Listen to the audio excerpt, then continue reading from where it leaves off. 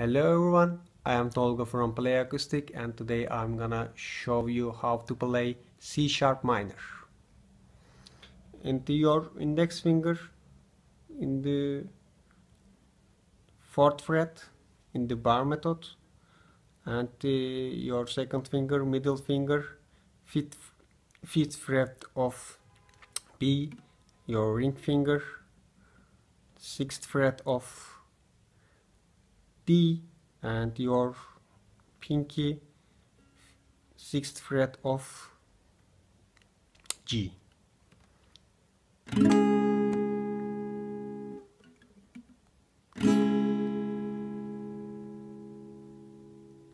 This is C sharp minor.